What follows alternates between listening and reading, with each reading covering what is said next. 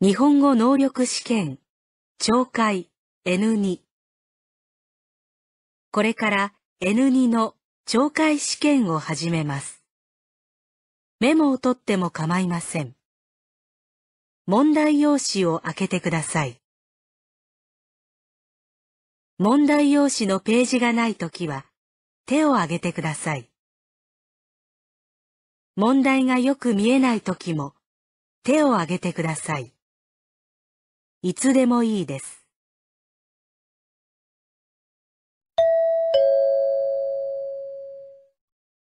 問題1問題1では、まず質問を聞いてください。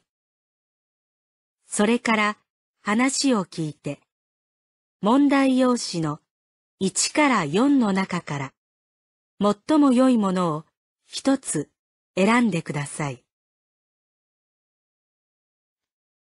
では、始めます。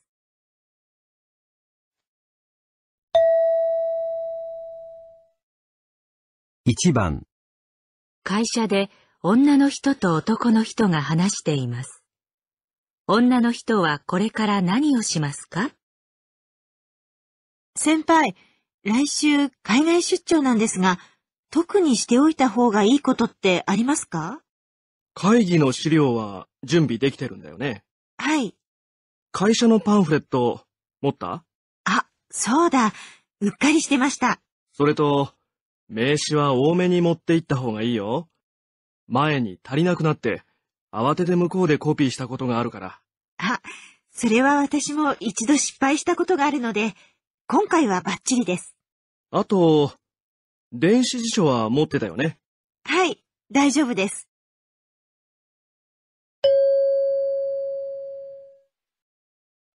女の人はこれから何をしますか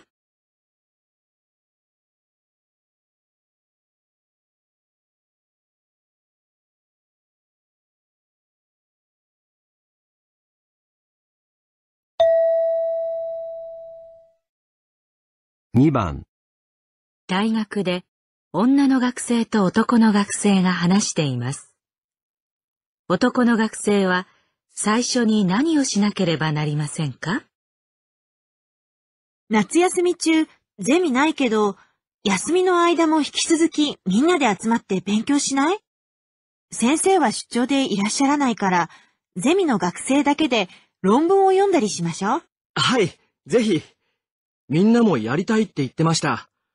えっと、論文はどうしましょうか？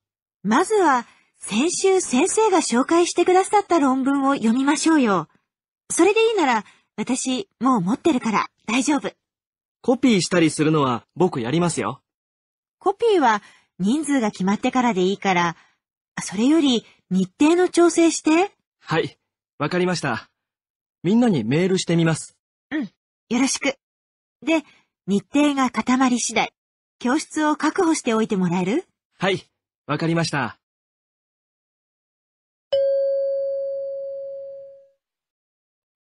男の学生は最初に何をしなければなりませんか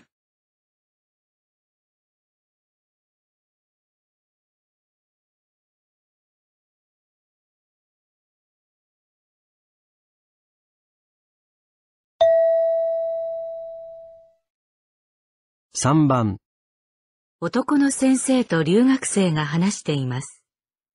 留学生はこの後何をしなければなりませんか？この間出してもらったスピーチコンテストの原稿だけどね。あ、はい。どうでしたか？うん。地球を守るためにできることっていうテーマは面白いね。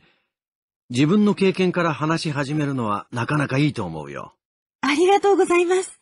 でも、スピーチは5分だったよね。はい。じゃあ、よほど早口で話さないと無理だよ。やっぱり長すぎるな。あ、そうですか。じゃあ、書き直してみます。あの、文法、自信なかったんですけど、うん。特に目につく間違いはなかったですね。まあ、少し硬い表現もあるけど、このぐらいはいいね。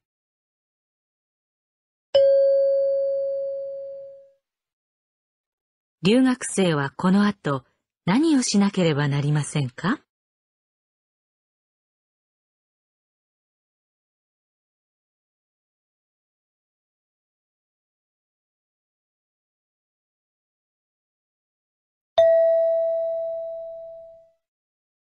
4番、映画館の窓口で女の人が料金について聞いています。女の人は全部でいくら支払いますか？すみません。大人二人、子供二人なんですが、あの、チケットっていくらですか？大人が1枚1000円。4歳以上15歳以下のお子様は大人の半額になります。じゃあ、上の子は6歳だから500円ですね。下の子は3歳なので、無料ですか？はい。4歳未満のお子様でお席をご使用にならない場合はチケットは必要ございません。お席をお使いになる場合は子供料金をいただいております。膝に乗せていればいいってことですね。はい、そうです。ずっと抱っこしてるのはちょっと辛いかな。いいや、500円だし。この子の分もお願いします。はい、かしこまりました。では、チケットは全部で4枚ですね。はい、それで。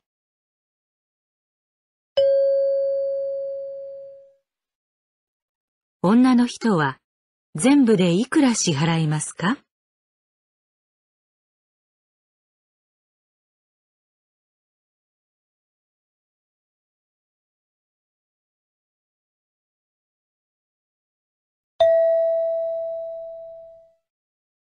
5番、会社で男の人と女の人が話しています。女の人はこの後まず何をしなければなりませんか？明日の東事務所との打ち合わせのことなんだけど、僕その前に別の会議が入ってて少し遅れるかもしれないんだ。その時は悪いけど、先に話を進めといてくれないかな。あ、はい。この前の続きからということでよろしいでしょうか？うん。メールで資料が届いてたけど、特に変更点とかはなかったよね。でも確認はしといて。私のところにはメール届いてませんけど、そうなの？じゃあ、急いで送るよ。お願いします。すぐ見ておきます。そんなに遅くなることはないと思うけど、何かあったら携帯の方に連絡して。じゃあ、よろしくね。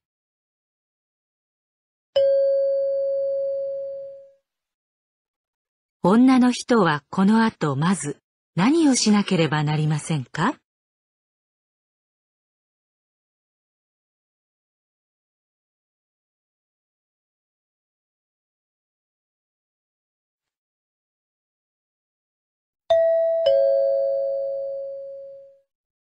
問題2問題2では、まず、質問を聞いてください。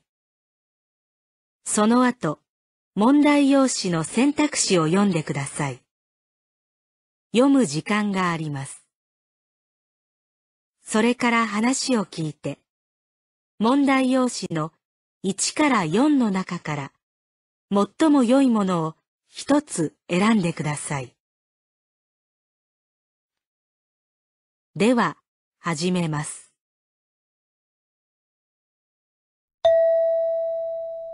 1番、男の学生と女の学生が話しています。男の学生は、どうして昨日、隣の部屋の人に怒られたと言っていますか？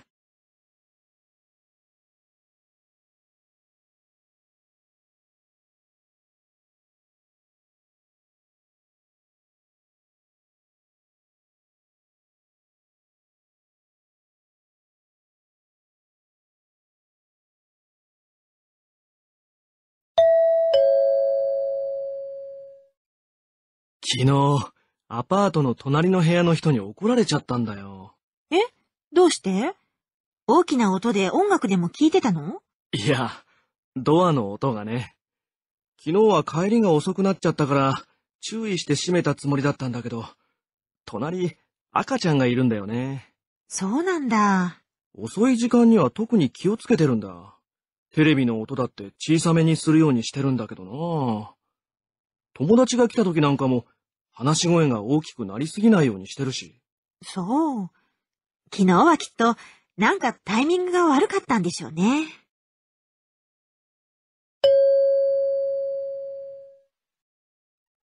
男の学生はどうして昨日、隣の部屋の人に怒られたと言っていますか？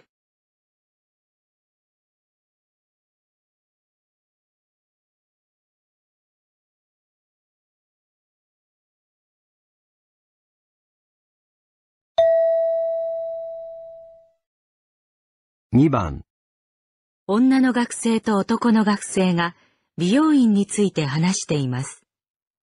男の学生はどうしてこの美容院が気に入っていますか？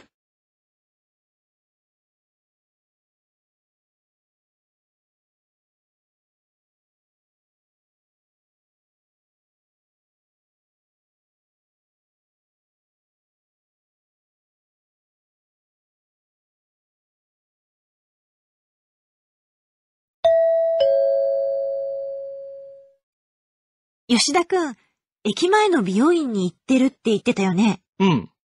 私も行ってみようかなと思ってるんだけど、どう？俺は気に入ってるよ。でも駅前にあるからか、いつも混んでて結構待つよ。うーん。ああ、あとなんか、店員が無口で冷たい感じがするって嫌がる人もいるみたいだね。そうなんだ。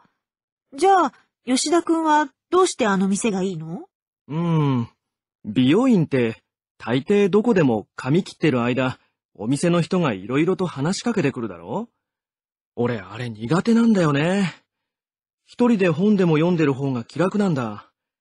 話好きな店員がいるとこはなんか疲れちゃうんだよ。うーん。私はお店の人とのおしゃべり好きだな。最近の流行の話も聞けるし。そっか。じゃあ、他の店の方がいいかもしれない。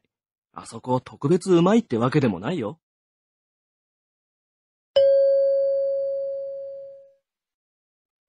男の学生はどうしてこの美容院が気に入っていますか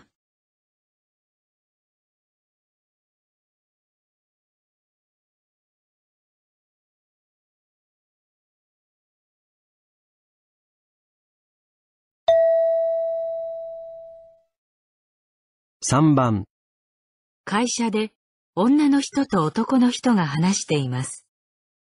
パーティーの会場が変更になった理由は何ですか？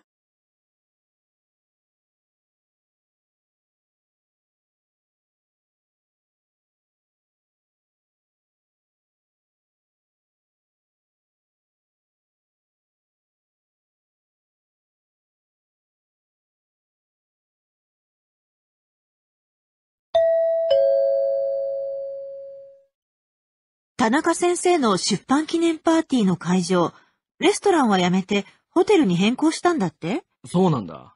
あのレストラン、田中先生のお気に入りじゃなかった？うん。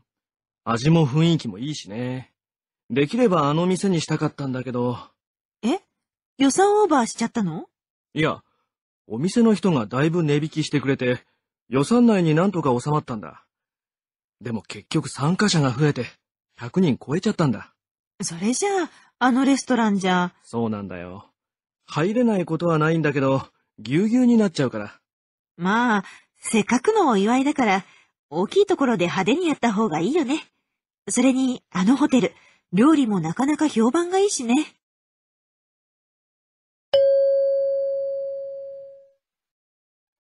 パーティーの会場が変更になった理由は何ですか？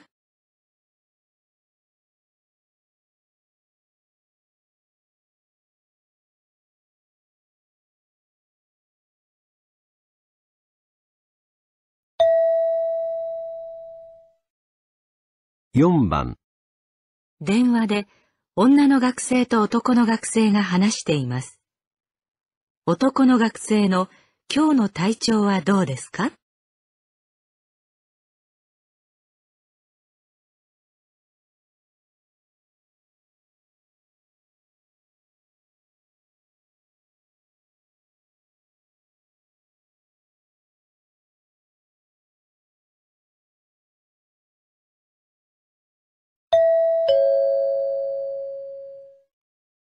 もしもし、池田くん？おはよう。おはよ風の具合どう？今日は授業出られそう？う。うん。昨日の夜にはもう熱が下がったんだけど、まだ2、3日は人にうつる可能性があるって、お医者さんに言われたんだ。そう。僕自身はもう元気だから、早く学校に行きたいんだけどね。まだ咳が残ってるんだ。結構風邪つらかったから。みんなに移したら悪いと思って。そうなんだ。うん。頭は痛いし、吐き気はするし、風邪の症状一通り全部やったって感じだったよ。大変だったね。授業のノートは取っとくから心配しないでいいよ。じゃ、お大事に。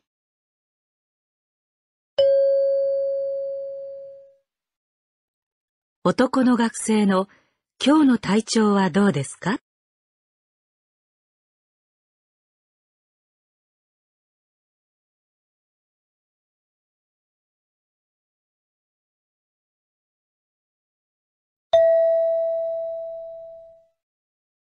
5番、男の人と女の人がある店について話しています。男の人はこの店の何がいいと言っていますか？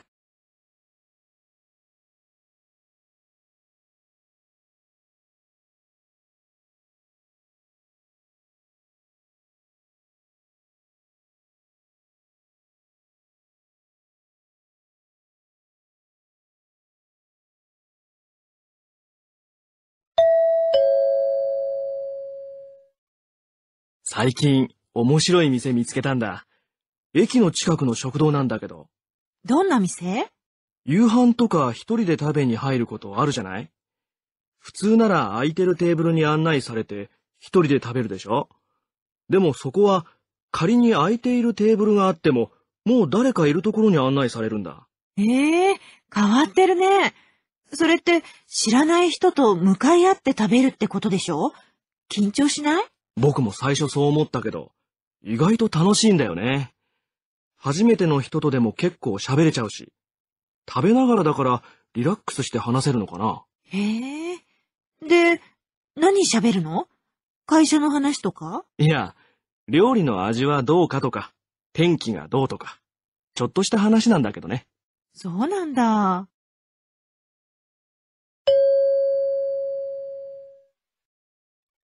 男の人はこの店の何がいいと言っていますか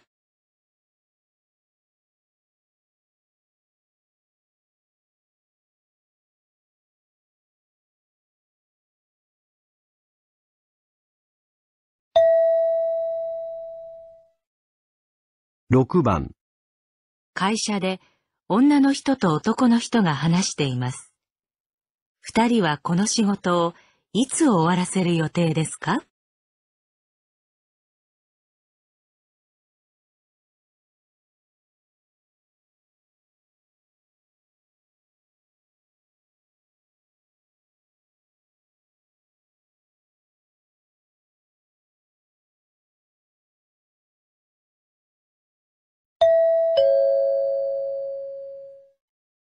佐藤くん、今朝お願いした入力の仕事、終わった？あ、課長。もう4時ですか。あの、まだ、ああ、そう。あの、この仕事、明日の朝までに終わらせればいいんですよね。うーん、ただ、このデータ、ちょっと気になる点が出てきて、今日中に見ておきたいのよね。申し訳ないけど、なるべく早くしてもらえるかな。そうなんですか。それでは、急いで仕上げます。ありがとう。助かるわ。あとどのぐらいかかりそう？えーっと、そうですね。あと2時間ぐらいはかかりそうです。?2 時間か。私が半分手伝ったら、時間も半分ね。じゃあ、二人で頑張りましょうか。あ、ありがとうございます。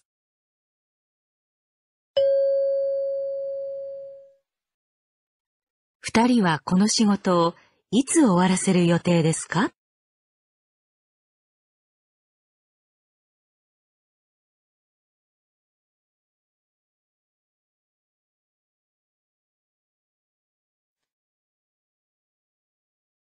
ここでちょっと休みましょう。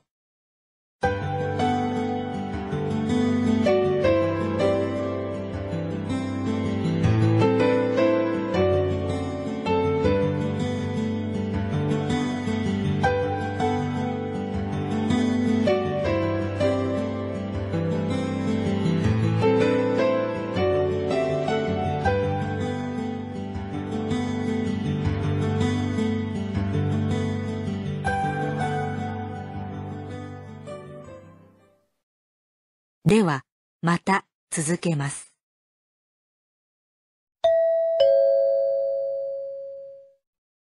問題3問題3では、問題用紙に何も印刷されていません。この問題は、全体としてどんな内容かを聞く問題です。話の前に質問はありません。まず話を聞いてください。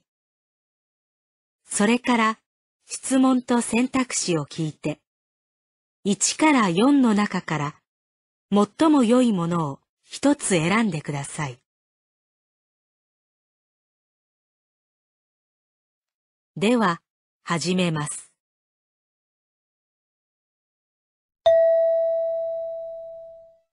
問題3。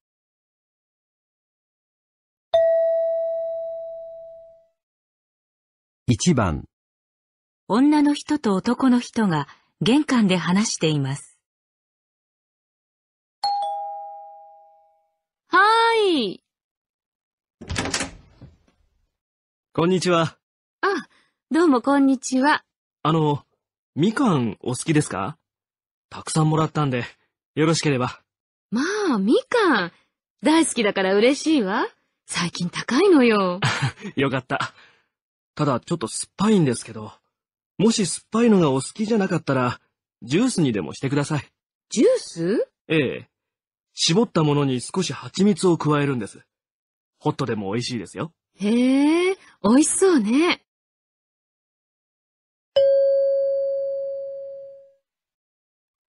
男の人は何をしに来ましたか？1、みかんをあげるため、2、みかんを売るため、3、みかんの感想を言うため、4、ジュースの作り方を教えるため、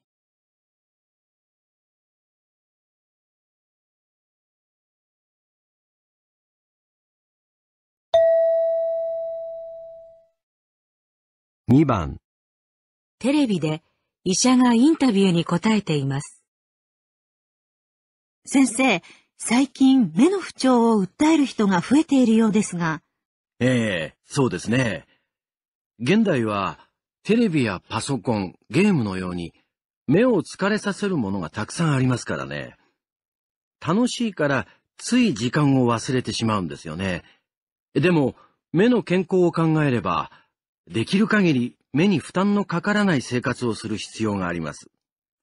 例えば、パソコンを使う時間を決めるとか、暗いところで画面を見ないなど、普段から気をつけることが大切です。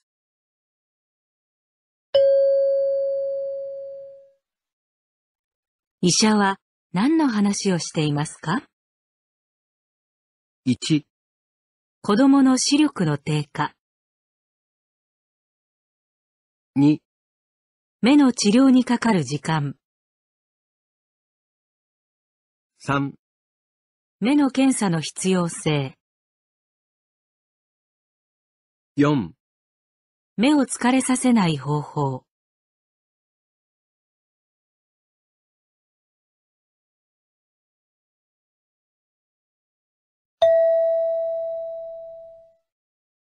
3番、レポーターが女の人に野菜について聞いています。こんにちは。こちらのお店でよく野菜を買われるんですか？ええ。このお店の野菜は味が濃いんですよ。匂いもね。その野菜らしいしっかりとした匂いがするの。このトマトの匂いを嗅ぐと、子供の頃に畑で採って、その場でかじった、その様子まで思い出すんです。へえ、そうなんですか。最近は野菜独特の匂いとか味が薄くなっていて、食べやすいと思う人もいるんでしょうけど、私にはちょっと物足りないんです。その点、このお店の野菜は昔ながらの方法で作られているそうで、味もいいし、安心だし。でも、値段がちょっと高めのようですね。ええでも、こういう野菜らしい野菜を孫にも食べさせたいと思って、つい来てしまうんです。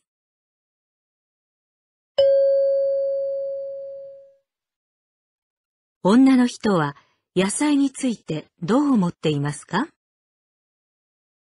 ?1 新鮮なものが一番いい。2値段が安いものが一番いい。3匂いや味が濃いものがいい。4自分で作ったものがいい。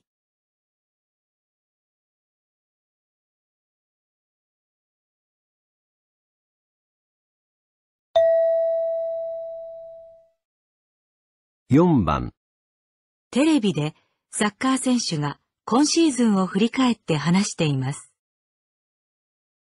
シーズン前に怪我をして手術を受けたので、今シーズンはずっと回復に向けてトレーニングの毎日でした。テレビなどで仲間やライバルの活躍する姿を見ると、焦りと悔しい思いでいっぱいでした。でも、専門的な本を読んだりして、トレーニング方法を客観的に見直すこともできて、それなりに充実していました。それに、久しぶりに家族ともゆったりした時間を持つことができましたしね。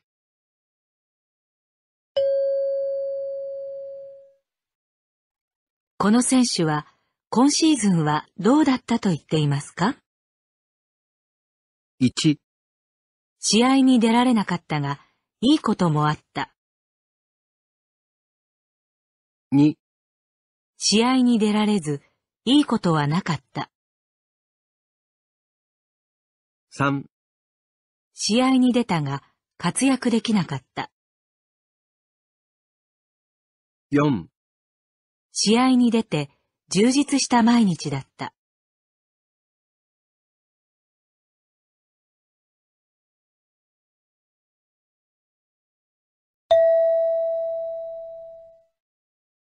5番会社で男の人と女の人が話しています。山田さん、ちょっといいですか？はい、部長。この間話した新しい店のことだけど、実は、君をそこの店長にという話が出てるんだ。え？これまでの仕事が高く評価されててね。ありがとうございます。じゃあ、いいかな？転勤にはなるけどね。あ、あの、ぜひ行かせていただきたいんですが、ただ、転勤となりますと。ん？あの、実は最近母の体調が良くないので、あまり遠く離れるのはちょっと。ああ、そう。でも、せっかくのチャンスだよ。はい。評価していただいたことは大変嬉しいですし、もし店長になったらやってみたいことはたくさんあるんですが、申し訳ありません。また次の機会に声をかけていただけるよう頑張ります。そうか。わかった。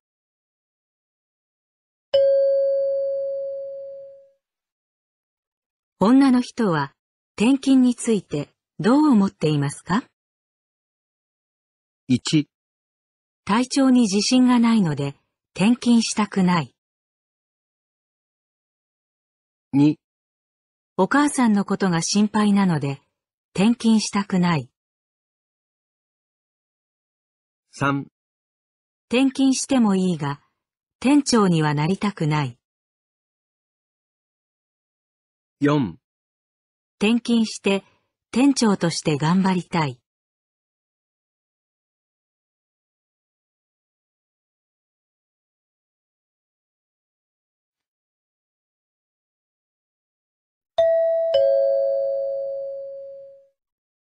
問題4問題4では問題用紙に何も印刷されていません。まず文を聞いてください。それからそれに対する返事を聞いて1から3の中から最も良いものを一つ選んでください。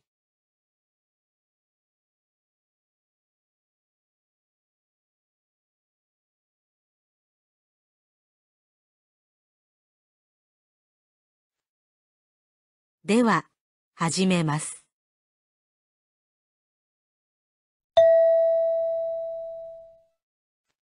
1番、ねえ、映画が始まるまで、どっかで時間潰さない？1、ずいぶん忙しそうじゃない？2、駅前の店にならあると思うけどな。3、じゃあ、コーヒーでも飲みに行こうか。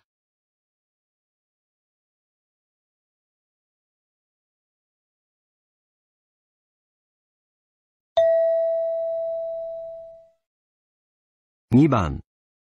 土曜日のハイキング来ればよかったのに。1、次の機会には、ぜひ。2、じゃあ、ご一緒いたします。3、いい天気になりそうですね。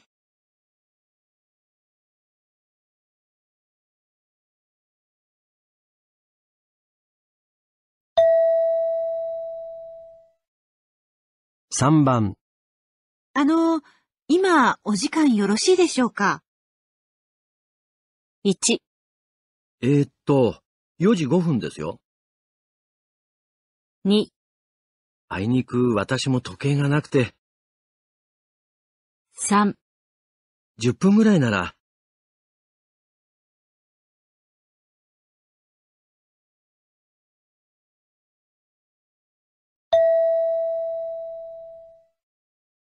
4番、昨日デパートでたまたま高校の時の先生に会ったんだ。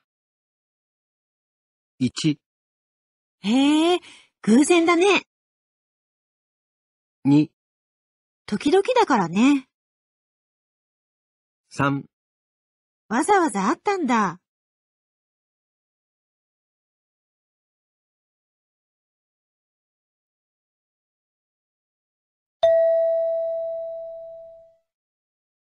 5番、ああ、またやっちゃったよ。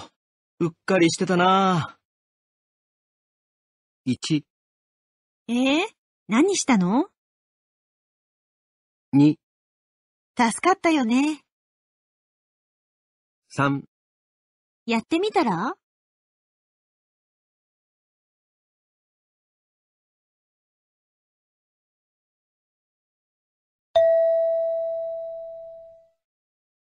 6番、こんな高いパソコン、無理して買うこともないんじゃな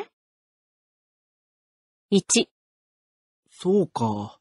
買うしかないか。2、少しでよかったら貸そうか？3、いや、どうしても必要なんだ。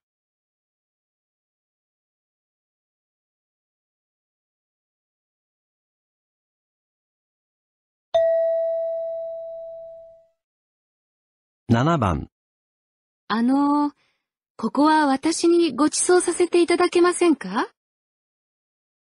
?1、お料理お上手ですね。2、そうすればよかったですね。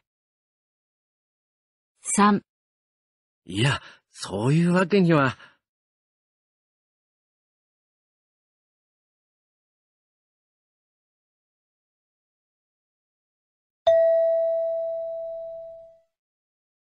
8番。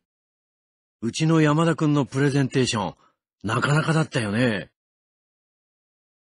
1、あまり勉強してませんからね。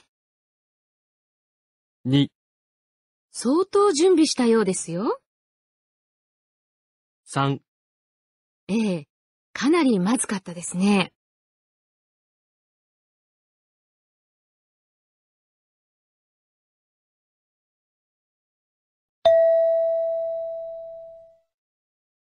9番。何落ち込んでるの？やれるだけのことはやったんでしょ？1、何が落ちてるの？2、やれって言うならやるよ。3、うん、頑張ったんだけどね。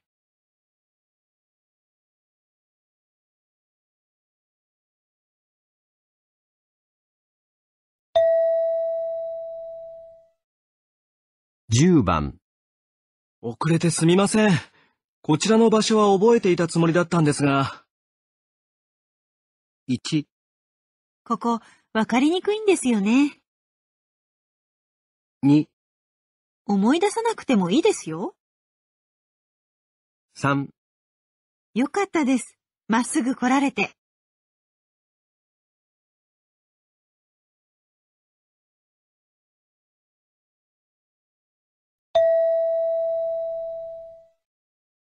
11番、あの、明日、田中先生がいらっしゃるかどうか、わかりますか？1、明日は来ないつもりです。2、お休みだと伺ってます。3、ご存知です。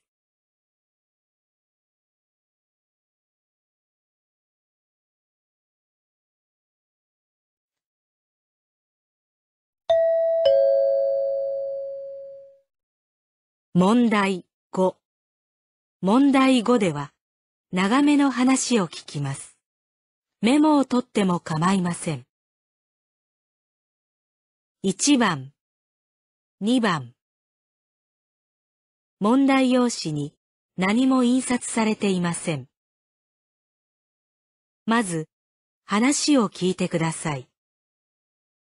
それから、質問と選択肢を聞いて、1から4の中から、最も良いものを一つ選んでください。では、始めます。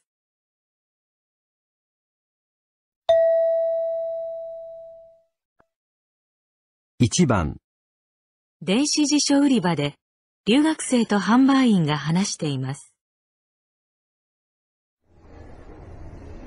あの、電子辞書を探してるんですけど、なるべく安いもので、日本語の勉強に使いたいと思って。そうですか。えー、っと、それでは、こちらの1番の辞書が最も安い商品になっていますが、機能はあまり多くありません。こちらの2番は、漢字辞典に漢字認識機能がついてて、人気があります。漢字認識機能？はい。大体の形しか覚えていない漢字でも、簡単に調べることができるんです。3番も同じ機能がついていて、あと、カタカナ語辞典も充実しているタイプですね。あとは、少し高くなりますけど、この4番は、さらに単語の発音が聞けるようになっていて、人気ありますよ。うん。漢字認識機能は良さそうですよね。発音は聞けなくてもいいんですけど、カタカナ語辞典はあったら便利ですね。じゃあ、これにします。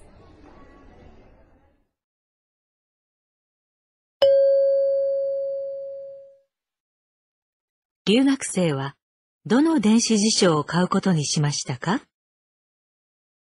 ？1、?1 番の電子辞書、2、2番の電子辞書、3、3番の電子辞書、4、4番の電子辞書、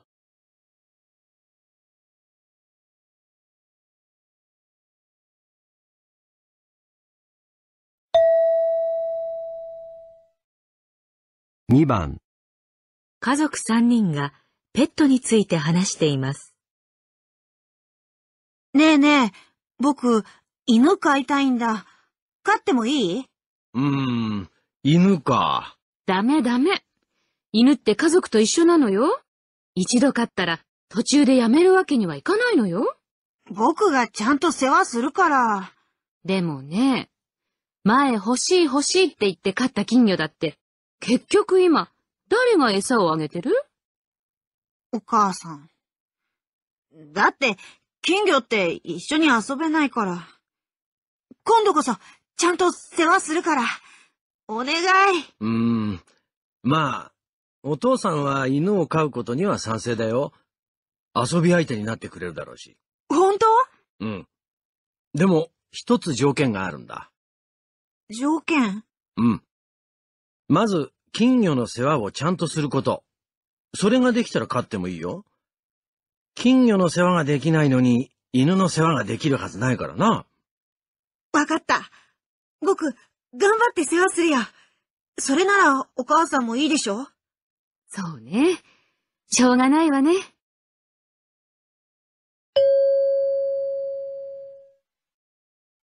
両親はどうすることに決めましたか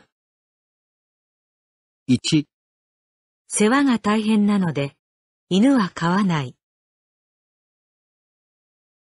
2、すでに金魚がいるので、犬は飼わない。3、子供が一緒に遊べるので、すぐに犬を飼う。4、子供に金魚の世話ができたら、犬を飼う。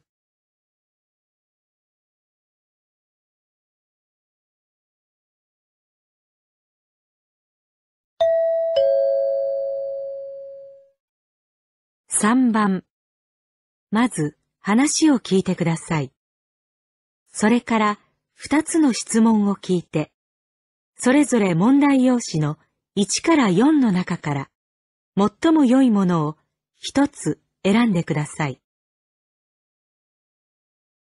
では、始めます。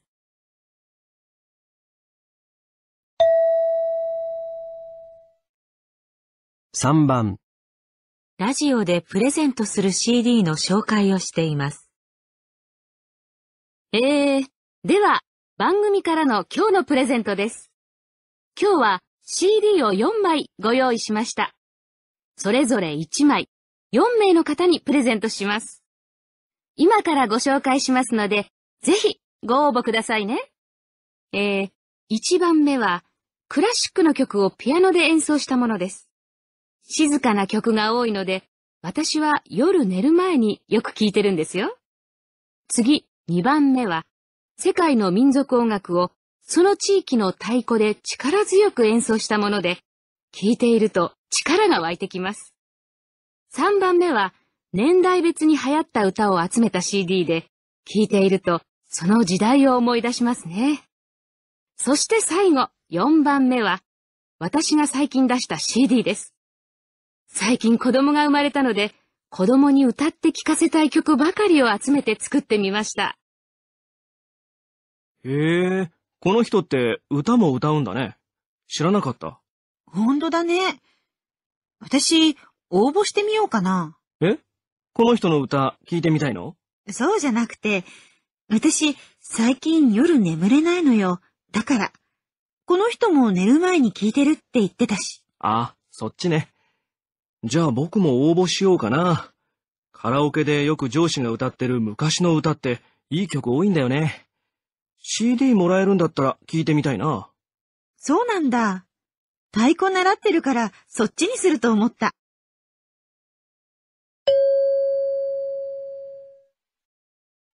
質問1、女の人は、どの CD に応募したいと言っていますか？